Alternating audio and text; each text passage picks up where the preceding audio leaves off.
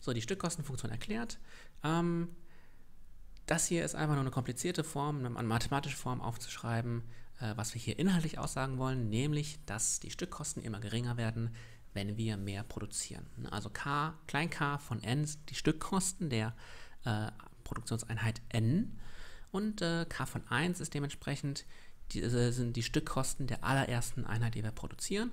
Und dieser Zusammenhang sagt uns einfach nur, dass diese Stückkosten immer kleiner werden. Das sehen wir daran, dass, wir zum, ähm, dass da hinten dieses n hoch minus c steht und c äh, sagt uns eben, wie stark diese äh, Stückkosten ähm, reduziert werden. Das sehen wir, indem wir das noch ein ähm, bisschen vereinfachen. Dann steht da k von 1 durch n hoch c. Okay, und wenn wir das einfach mit einem ganz einfachen Beispiel durchrechnen, nehmen wir mal an, äh, k von 1 ist äh, 3 und c ist gleich 2, dann sind, ähm, ist k von 1 also 3, das, ist, äh, das sind die Kosten von äh, Einheit 1. Die allererste Produktionseinheit kostet uns 3. Okay?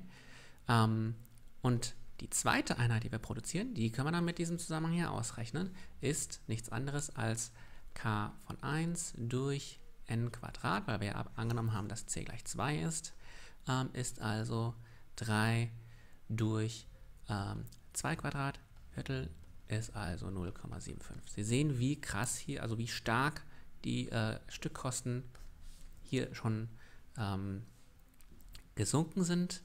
Ähm, nur, da, nur, dadurch, dass wir ähm, zwei Einheiten statt äh, einer Einheit produziert haben.